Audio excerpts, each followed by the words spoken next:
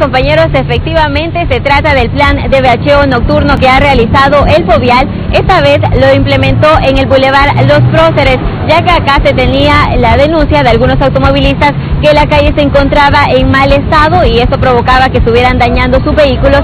Entonces ahí es donde de inmediato el Fovial vemos que ha respondido ante ese llamado y fueron colocados 35 metros lineales y 23 toneladas de material asfáltico precisamente para poder darle solución a todos esos problemas que se estaban registrando en cuanto a los baches que se registraban justamente en este tramo del bulevar Los Próceres. Así que ahí vemos a los empleados del Fovial trabajando con toda la maquinaria necesaria para poder darle solución a esa problemática. Eso sí, ellos pedían que siempre se trate de respetar o mejor dicho, que se respete a los empleados del Fovial, ya que ellos están realizando estos trabajos precisamente para el bien de la población, para que usted no siga dañando su vehículo cuando transite por la zona. Y sabemos que a veces hay personas que por evitar algún bache incluso han eh, sufrido algún percance vial. Entonces precisamente es lo que se quiere evitar, pero también hay que reconocer el trabajo que se está haciendo por parte de los empleados del Fovial y siempre tratarlos con mucho respeto. Así que esto ha sido parte, compañeros, de lo que ha ocurrido en las últimas horas y de este